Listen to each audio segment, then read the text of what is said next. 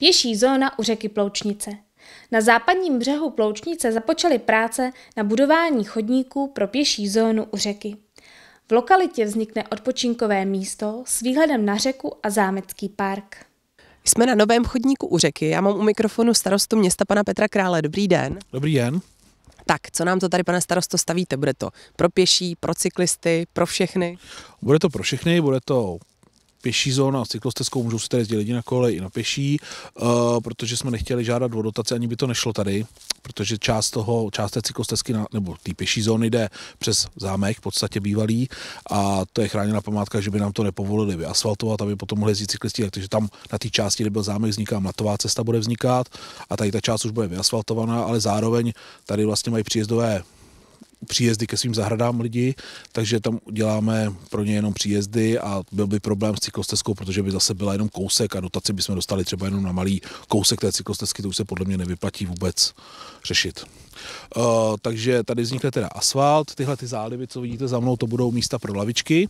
To, I ten záliv, co končí, to není jako, že, cyklo, že to pokračuje dál, tam prostě končí záliv a tam bude, tam bude lavička. Následně chceme opravit tu část tady té ulice Mlínské celé, eh, kdy teď už se opraví část okolo těch garáží, až se to končí tohleto někdy kolem dubnu, by to mělo být dokončeno, protože asfaltovny začínají vyrábět asfalt až dubnu podle počasí, takže můžeme dokončit až dubnu.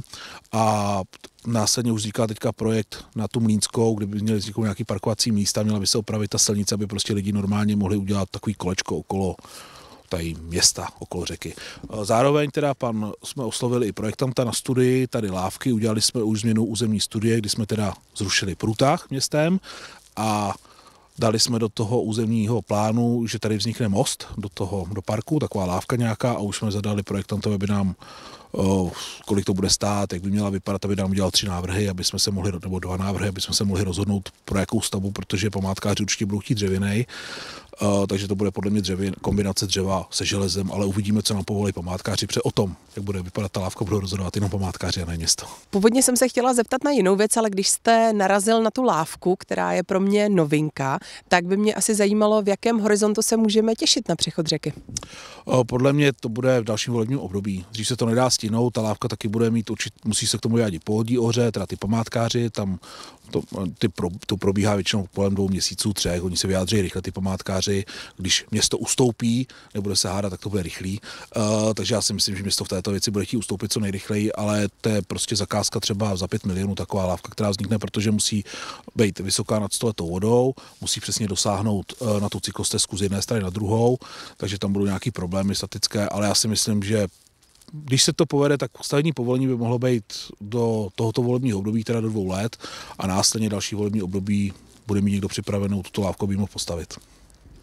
Tak a já se vrátím k tomu chodníku, na kterém stojíme, protože samozřejmě každý dobrý skutek musí být po zásluze potrestán a my už jsme dostali fotografie nějakých chyb, které se občanům zdají zvláštní a ta je zrovna takhle za námi a my ji za chvilku možná uvidíme na kameře.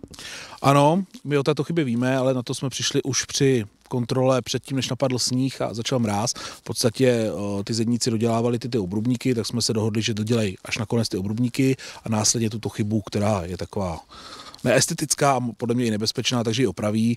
Prostě to bude do oblouku, ne do toho pravého úhlu, ale my to víme, ale prostě začal mráz, zastavila se stavba, takže teď to nelze opravit. Pane starosto, tenhle chodník bude navazovat potom na rekonstrukci náměstí? Ano, je to součástí řešení celé, celého centra města, té opravy toho města.